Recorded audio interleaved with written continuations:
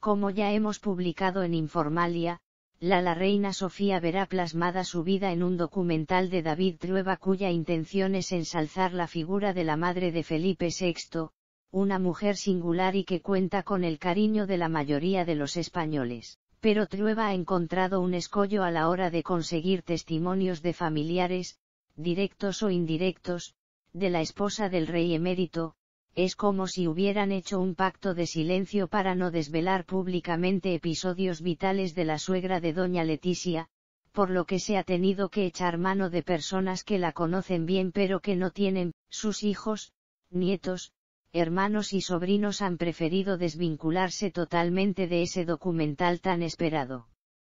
El equipo de grabación intentó por todos los medios posibles contactar con familiares y siempre obtuvieron el mismo no por respuesta.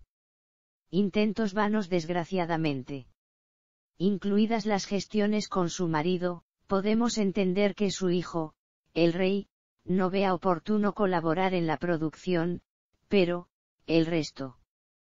Como hemos dicho, la intención es enaltecer a una mujer que es un ejemplo en muchos aspectos de la vida, como madre, esposa, reina, vinculado al mundo de la solidaridad y la ayuda al llamar. No estamos ante un documental que busque la polémica, al contrario, y los comentarios de familiares lo hubieran enriquecido totalmente.